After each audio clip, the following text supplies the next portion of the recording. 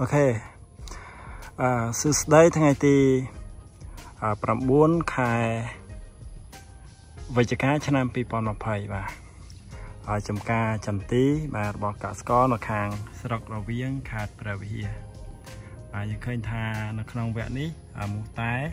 បាទមិនតន់អស់នៅឡើយទេ បាទនៅសល់ខ្លះខ្លះបាទដែលវាចាប់ផ្ដើមញាស់មកសាជាថ្មីទៀតហើយបាទ ក្រោយពេលដែលកសិករធ្វើការបាញ់ថ្នាំបាន10ថ្ងៃជាងបាទនេះអូខេប៉ុន្តែវាមានតិចតួចទេប៉ុន្តែនៅក្នុងកំឡុងពេលនេះបញ្ហាដែលកើតមានច្រើនបាទច្រើនជាងគេបំផុតនោះគឺពពួកដង្កូវមូលស្លឹកដង្កូវមូលស្លឹកចាប់ផ្ដើមញាស់ច្រើនឥឡូវនេះយើងឃើញថាស្ទើរតែគ្រប់តំបន់បាទដង្កូវមូលស្លឹកចាប់ផ្ដើមវាយលុកខ្លាំង បាទដូច្នេះបងប្អូនកសិករទាំងអស់គ្នាបើសិនជាចន្ទីយើងចាប់ផ្ដើមចេញត្រួយហើយបាទប្រញាប់ក្នុងការបាញ់កំចាត់បានគឺអអាបាបាទនៅក្នុងដំណាក់កាលនេះគឺអាបាគឺអាចមានប្រសិទ្ធភាពក្នុងការកម្ចាត់ដង្កូវទាំងនេះហើយអឺវាមានតម្លៃសមរម្យដែល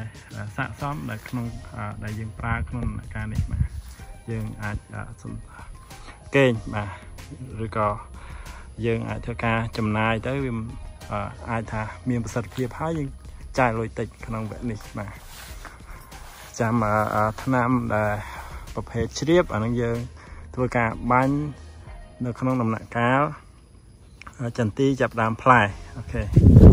ផ្កាផ្លែហ្នឹងដែលមានតកៅមូអឺមូផ្កាហើយនឹងតកៅយោតងហ្នឹងហើយនឹងតកៅស៊ីរុងផ្លែដំណាក់កាលនេះយើងប្រើអាបាបាទយើងអាចកម្ចាត់ពពួកដង្កូវនេះបាននេះ ដង្កូវមូស្វាក់ចាប់ដើមអឺលូកលាស់ធំមែនតើហើយមានអាតូចតូចដែលវាកំពុងតែញាស់មកទៀតនេះ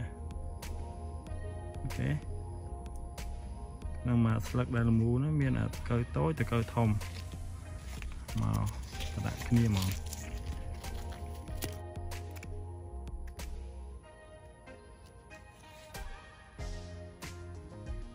បាទ សុំកូន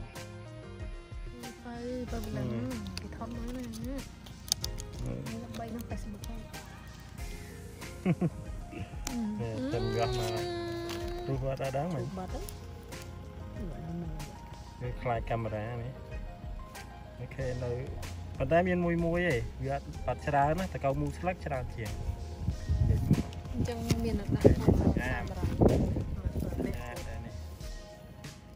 នេះតងតងនេះតងនេះមានផ្កាណាចេញចេញផ្កាត្រង់ត្រង់ត្រៀមផ្កាប៉ុន្តែអាមូតាតិចមើលតាតាពីរមិញណាតាពីរមិញវាឆ្លងដល់នេះមកខ្លាំង